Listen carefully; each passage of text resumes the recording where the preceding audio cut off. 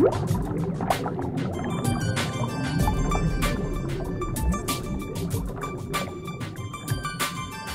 Harte Research Institute at Texas A&M Corpus Christi is currently studying a hypoxic dead zone in the southeast region of Corpus Christi Bay.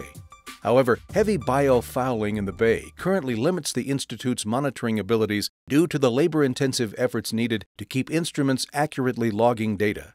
After identifying their need for a long term deployment instrument, the Harte Research Institute tested the Wet Labs Water Quality Monitor, known simply as the WQM.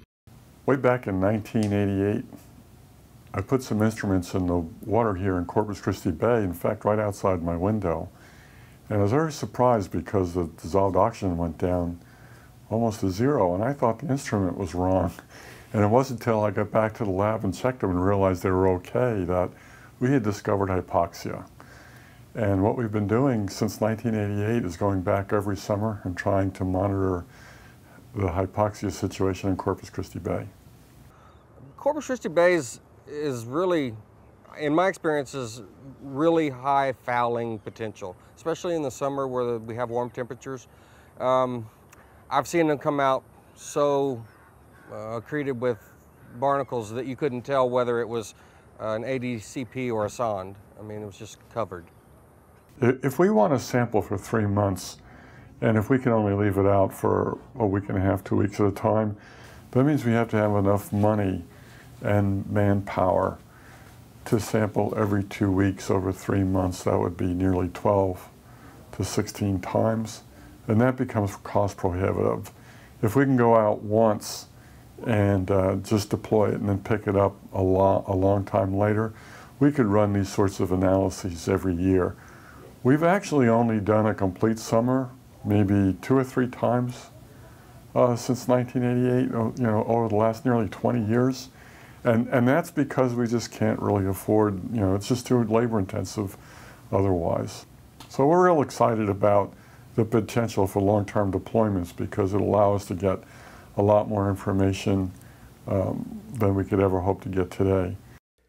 The Wet Labs WQM is a multi-parameter instrument developed cooperatively between Wet Labs and Seabird Electronics, two leaders in the oceanographic water quality field. Together, the two combine their most advanced technology into one instrument. Incorporating Wet Lab's fluorometer turbidity sensor and Seabird's CTD and dissolved oxygen sensors, the WQM provides accurate temperature, salinity, depth, dissolved oxygen, chlorophyll, and turbidity or backscattering data. The WQM's fresh sample flow pump continually brings fresh water across sensors to ensure that representative samples are continually measured, providing high resolution data. Designed specifically for extended deployment in environments where intense biofouling is expected, the WQM employs multiple anti fouling systems to keep the instrument logging accurate data in the field with minimal maintenance. Ultimately, this leads to a savings in time and money, as quality data is continually logged without regular field maintenance visits. Biofouling has historically limited long term oceanic deployment of water quality sensors. At the core of the WQM's extended deployment capability is its comprehensive anti fouling technology.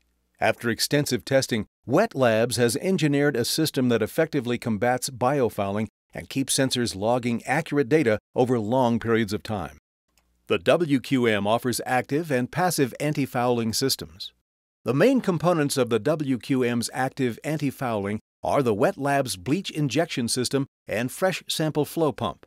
The bleach injection system inserts household grade bleach at user determined intervals past the DO membrane into the conductivity cell.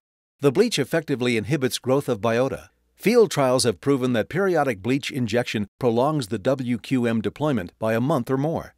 The biowiper on the optics of the chlorophyll and turbidity sensor is another active anti-fouling preventative measure. The copper biowiper covers the optics when the WQM is in sleep mode, preventing growth on the optics. When the WQM prepares to sample, the biowiper rotates and wipes the optics beforehand. The optics are wiped again at the end of the sample. Passive anti-fouling measures include EPA-approved Seabird anti-foulant cartridges, copper faceplate, and ring guard. Together, the active and passive anti-fouling technologies provide a level of protection not seen in traditional monitoring instruments. These features allow the WQM to typically be deployed in extremely biologically active water for a minimum of three months. In Corpus Christi Bay, researchers head out to their monitoring station to retrieve the WQM after three and a half months of deployment. The WQM is raised to the surface, and it's revealed that while barnacles and other life are attached to the deployment cage and body of the WQM, all sensors remain clean and are still logging data. There was a lot of fouling around the frame, the, but the sensors uh, were out of out of any muck layer and it seemed pretty clear. But then when we got it on the boat, we can confirm that it was in, the sensors were had very little fouling, almost nothing, and the whole thing was in pretty good shape. I've seen these sondes come out uh, numerous times so foul that we couldn't like couldn't tell what they were. And when I saw this one and I thought immediately, wow, that's totally different from what I'm used to seeing. And we usually only put them out for two weeks at a time at the most. This thing's been in there three and a half months and it looks great. So I, I'm optimistic about it. Back at the Harte Research Institute facility, the data is downloaded and reviewed, and the results are impressive. The data confirms that not only were the sensors free of growth at retrieval, but they continued to record relevant data and the effect of fouling was nearly non existent, proving that the WQM is a viable solution for long term monitoring in even the harshest marine environments. For more information on the Wet Labs WQM, please visit hachhydromet.com.